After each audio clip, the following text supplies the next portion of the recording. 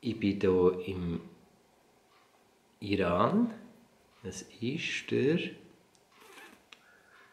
hm, siebte, elfte und ähm, ja, es ist der Wahnsinn. Also die Leute sind unfreundlich und ähm, ja, gastfreundlich.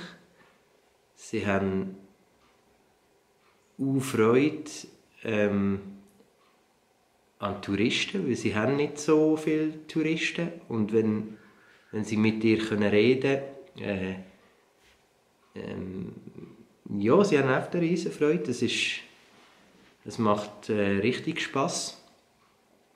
Äh, wenn man fährt, eh mit dem grossen Dörf, hier in Iran äh, kann man nicht so grosse Dörf fahren. Das grösste ist 250 Kubik. Und dann äh, ja, fällt man eh auf. Und alle winken einem äh, zu einem, dass man anhaltet und redet. Obwohl Englisch, Englisch ist, äh, ja, können die Leute äh, nicht so gut. Weil ja, sie haben mir auch gesagt, ja, wieso sollten sie? sie? Sie kommen eh nicht aus dem Iran, auch wenn sie wetten. Ähm, Visa zu bekommen für andere Länder ist, ist auch schwierig. Und äh, ja, dann macht es auch wenig Sinn, wenn sie das Land eh nicht können verlassen können, äh, Englisch zu lernen. Ja, auf jeden Fall, wenn man jedes Mal anhaltet, wenn jemand winkt oder mit dir will reden, kommst du kaum vorwärts. äh, ich bin in einer Nacht habe ich am Strand übernachtet, am Kaspischen, Kaspischen Meer oder See. Und dann ähm, haben wir zwei junge Burschen eingeladen für die nächste Nacht. Ähm, bei ihnen zu übernachten, in, in der Nähe von Rast. Und äh, das, ich habe ihnen dann angerufen. Und sie haben mir ähm, drei Nächte geschlafen und zwei Tage mit ihnen verbracht.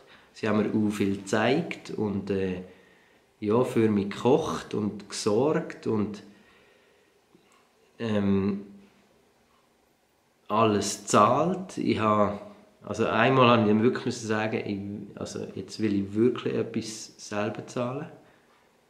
Ähm, oder für sie auch etwas zahlen. Also man muss fast man muss dafür kämpfen, weil sie, ich glaube, sie wird das letzte Hemmli geben. Und äh, sie zwei ganz schöne Tage Äh, zwei ja, super nette Bursten. Aref und Kianusch. Und es hat, also hat richtig Spass gemacht. Und jetzt heute bin ich ein Stückchen weiter, Richtung Teheran. Bin in die Nacht reingefahren und äh, ja, ich habe nicht so viele Kilometer gemacht. Bin in die Nacht reingefahren über ein über ein Pässchen oder ja, Hügel. Da habe ich wirklich gedacht, oh, hu, äh, finde ich echt etwas zum Schlafen. Dann habe ich schnell am Rand angehalten und dann ist äh, ein Auto neben mir zu gefahren und äh, die drin haben mich gefragt, ob ich nicht echt Lust habe, ähm, mit ihnen zu kommen weil sie haben gerade ein BMW treffen und es wäre lässig, wenn ich äh, äh, ja, wenn ich ihn, mit ihnen da oben würde verbringen und dann äh, ja, habe ich müssen sagen, äh, ja, noch so gern. Ich weiß eh nicht, wo ich schlafe. Und äh, ja, jetzt hocke ich hier, jetzt haben wir die eingeladen, zahlen wir höchst, denke ich, wieder alles. Oder sie, ja, sie haben schon gesagt, sie, äh, sind alles zahlt. Ähm, ich habe jetzt hier ein Hotelzimmer, wo eigentlich alle für ja, für eine Familie wäre. Es ist zweistöckig. Und ich bin nachher eingeladen für mit ihnen zu Nachtessen. Äh, ja, ein Riesenschwein. Und äh, ja, super gastfreundlich. Und äh, was soll ich noch sagen? Ja, mir geht es super. Also ich genieße es hier auch in Iran. Also, wirklich, also die Leute, die ich bis jetzt gesehen und getroffen und mit ihnen geredet habe, ist einfach der Hammer. Ja.